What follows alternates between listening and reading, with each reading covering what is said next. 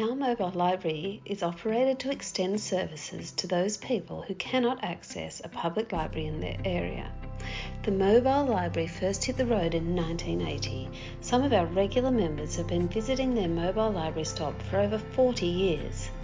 The truck carries almost 9,000 items, including everything you would find in a regular library, as well as book club sets and even school holiday take and make kits.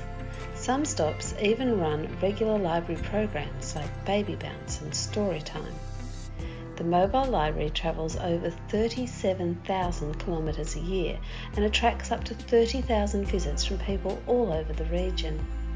It stops at 19 regular stops in different locations starting in Lismore, making its way through the four council areas Ballina, Byron and Tweed.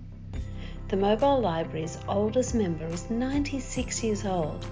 Peter walks 4 kilometre round trip from his nursing home to his local mobile library stop in Pottsville each Friday for his books. Why not visit us at a stop near you? You can find a mobile library timetable on our website or by calling your local library. It was a pleasure. Thank you for coming.